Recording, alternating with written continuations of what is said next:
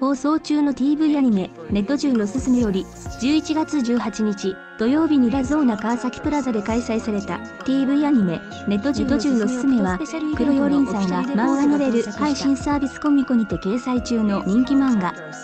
実世界からドロップアウトしたみそじ独身脱サラニートのヒロイン森岡森子がネットゲ世界で出会った仲間とのコミュニケーションや出会いが現実世界にもつながっていきネットとリアルが交錯する世界でつながる人間ドラマが描かれる。